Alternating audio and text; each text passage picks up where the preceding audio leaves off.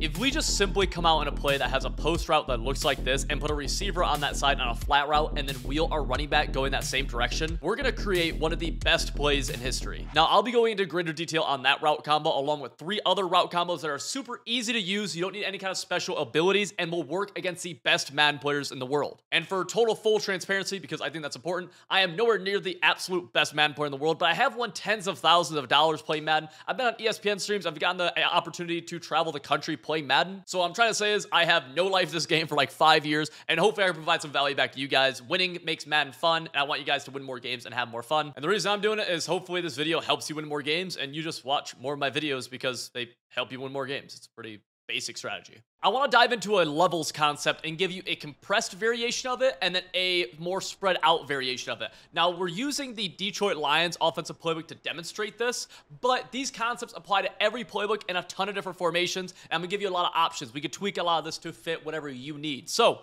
the play that we're going to use to demonstrate is called PA shot crossers. This is our first variation. So we're going to call that, and let's go go up against random defenses here. And a levels concept, the way we're going to make this is that we're going to have two levels. Our first level is going to be kind of an over, a little bit higher level. So Jameson Williams on a crosser is going to work perfect here. But now we need an underneath level. And I'm going to do that by putting my backside wide receiver on an in route.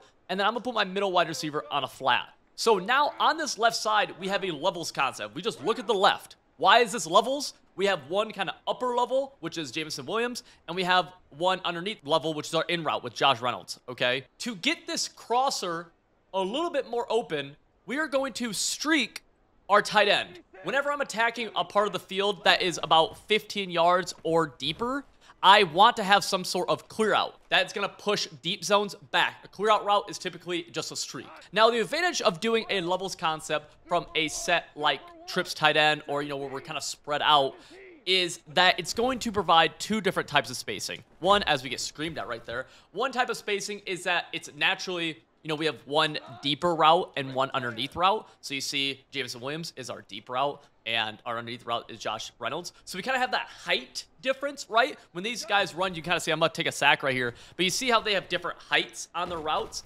But then the next thing you should be noticing right here is that they're going to have different horizontal spacing too, which is a huge advantage of doing this from a spread set. You can imagine if this in route and this crosser were right next to each other, then they wouldn't have as much horizontal spacing. You see what I'm saying? And so that's going to provide us a really nice opportunity to get the user to not be able to defend both of these guys. Because we not only are we trying to beat the CPU on defense, we're trying to beat the user on defense too. We can't let them use our multiple of our routes. Some I haven't talked about here though, you know, we talked about the crosser, the in, and the clear out, but our flat route is actually really important. So what he's gonna do is he's actually going to push all the flat zones to the sideline on that part of the field, which is gonna open up our in route sooner. If our flat route was instead on a drag, well, one, the spacing here, the horizontal spacing is bad between the drag and the in, but two, the flat zone defenders on the left side of the field can cheat in, which is going to defend the middle of the field more. So we're going to put him on a flat route.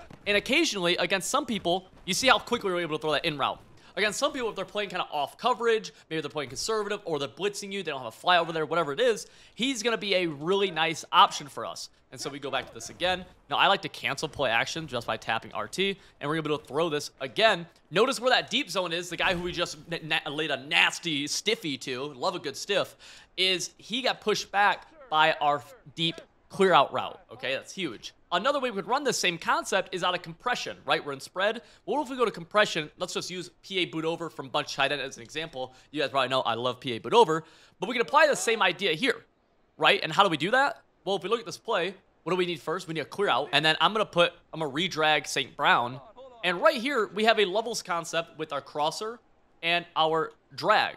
Now you might be saying, Civil, this is actually not as good because they're not they don't have that horizontal spacing, which is true. You can kind of see they're not as well spaced out horizontally. But what this is gonna do is it's gonna develop a little bit faster. It's gonna hit the next sideline a little bit faster. This drag, instead of being an in route all the way on the sideline, he's now a drag right here, so he's gonna cross quicker. And then for Reynolds, we don't need the flat as much anymore. We could still have it, but we could put him on a zig or we could put him on a hitch or something like that. And this drag is going to do a better job against man coverage. So we're able now to run the same concept from both compression and from a more spread style set, right, with bigger splits between our wide receivers. So if we go back to this again, same idea. And it's going to work pretty much the same. You know, each one would just offer, as we get hit, each of them offer just different advantages over the other. So the next concept we're talking about is a little bit of a variation to a typical concept you'll see in Madden called Flood. Now, if we go into the play Red Zone Up right here, the reason I want to call this play, if we look at it, is because there's a very special route here. A lot of people look at RB. This route is cute, but it's not as good as you think it's going to be. What we want is A. Whenever we have a tight end, or I'm sorry, whenever we have anybody on a corner route, we could turn that into a flood. Now, a lot of times you'll see flood concepts look something like this on the right side, where we have, you know, a flat streak and clear out. I actually like to run this whenever we're in some sort of trips set where we're spread out, where we can run this with this guy on the streak as our clear out and this guy on our smoke screen. This right here, we're not going to worry about the left side right now. This right here on the right is one of the easiest route combos you can run and get good at in Madden that's going to dominate zone coverage. This is not a great man beater. There's variations you can do to beat man better, but it's going to dominate man, man, man, man, man coverage, right? So we go back here again. It looks like it might be man. So now what we can do actually is take our other two receivers and put them on two man-beating routes, right? Let's say we go zig, come back on the left side. We go here. Oh my gosh, they ran man? Well, in this case, it's a little bit more advanced. We actually get away from the main concept here, but we utilize a zig to beat man on the other side, and we're able to go. Now, we go back to this combo. Let's see it on the right side here. That's what I'm going to be focusing on.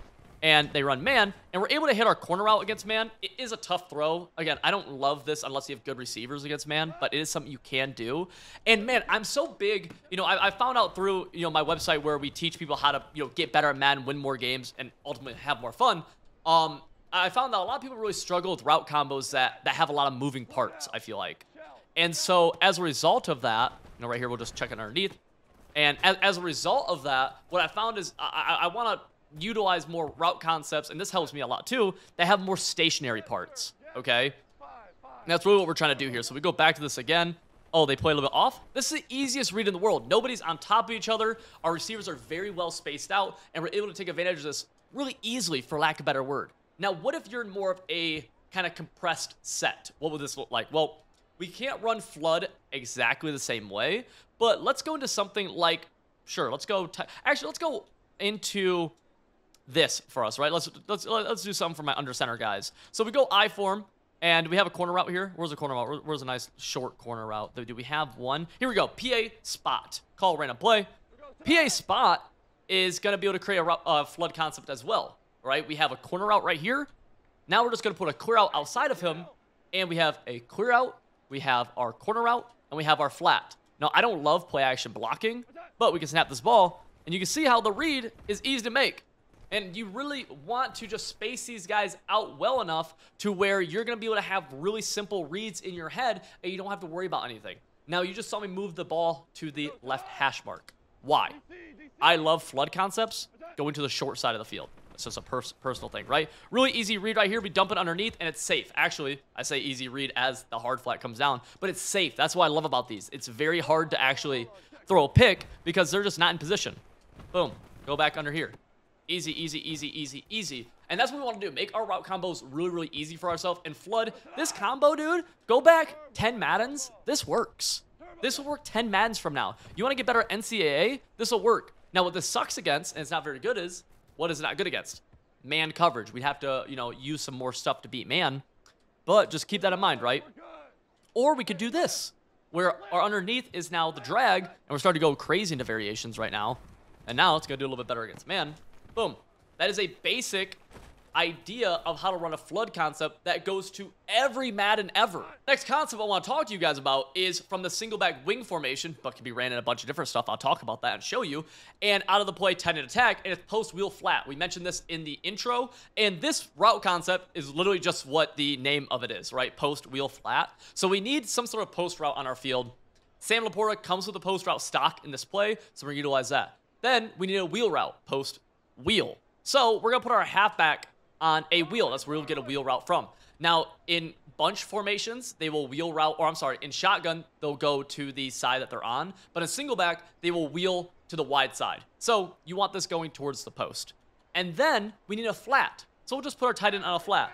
This is going to create one of the better route concepts in the game, and all we got to do is make the read between this triangle. We're first checking the tight end on a flat, then wheel, then post. It's pretty simple, and it's very, very lethal. You can see right here, bang, easily able to catch that. We could also catch that in juke. It's a very nice hot read and something that we could do very, very fast. So we go back to it again right here. This is always one of my favorite route combos. Boom, and we are able to barely make that catch right there. I'm five outing right now, so, you know, there's going to be a little bit more pressure. And let's go back to this again. This is a really good man and zone beater. I don't know why we're getting that kind of crazy animation right there, but we'll, we'll it looks great for the video, so we'll take it.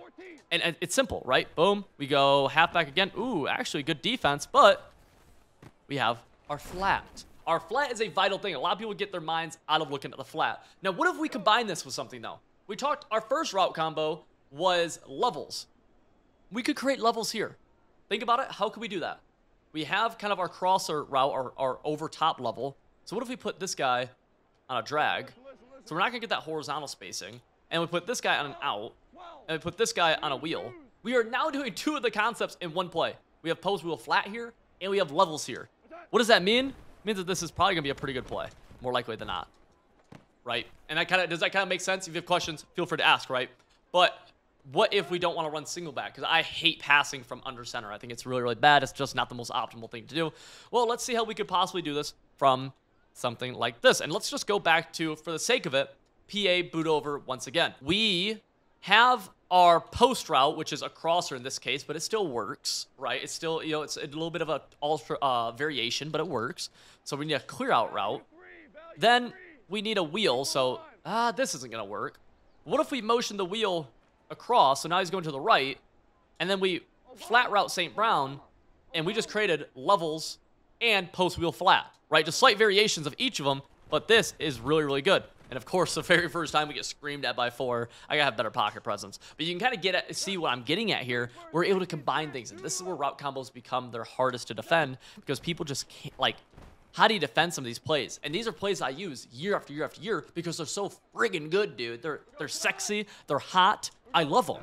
Let's go back to it. Boom, flat. Oh, you didn't defend the flat? You gotta defend the flat route, dude. And But you gotta be willing to take that flat too, right? Don't hate me, but we're in the Eagles playbook for this play, and it's the concept I like to call delayed verticals. Usually, it'll be seen in bunch formation, so we're gonna come out in the bunch offset, and this is quite literally maybe the most popular play year in and year out, like combined over a five-year span. Really, really popular, verticals from bunch. Now, the reason I call this delayed verticals is because all of the receivers do attack vertically, right? But they kind of are a little delayed in, in, in doing that. And the reason they're delayed in this case is because we have two wheel routes. Now, wheels, right here, if you look on the right, they're both vertical attacking routes, but they, you know, kind of immediately stem horizontally, meaning that they're a little bit delayed in their attack, right? Which is really, really cool, actually, because we're able to do some stuff with that. What this allows us to do is that in passing, typically, you pass one of two ways, right? You're either attacking horizontally on a play, or you're attacking vertically on a play.